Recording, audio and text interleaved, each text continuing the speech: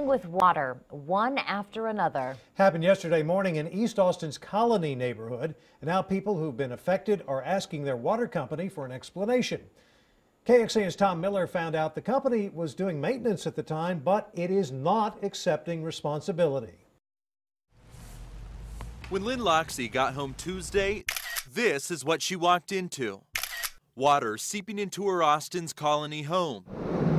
Now the fans are in and carpet gone. It's covering up the front yard instead. There was about an inch of water in here, maybe maybe two. The Loxey family isn't alone. Uh.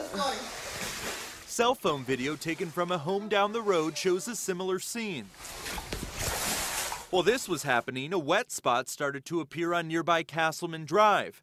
Ashley Trimpey noticed it just as her water softener broke it's not viable anymore and we will have to get a new one. The flooding and equipment failures appear to have happened while Southwest Water Company and its subsidiary Hornsby Bend Water Company were working on a tank inspection and cleaning in the neighborhood, saying in a statement this necessitated water to be shut off to less than 500 customers for approximately 30 minutes. Outside of this brief outage, we are unaware of any other issues related to our water system. Something definitely had to have gone wrong. This many homes same time, same day. It, it's something happened and they need to take responsibility. The company fielded at least 17 calls immediately after the shutoff, and the damage appears widespread. Southwest Water Company have them take responsibility for it and um, pay pay up. Neighbors believing all this is too much to be a coincidence. In Austin, Tom Miller, KXAN News. And we reached out again tonight, and a spokesperson for Southwest Water Company says they don't believe there's a connection between the water damage and the work crews were doing.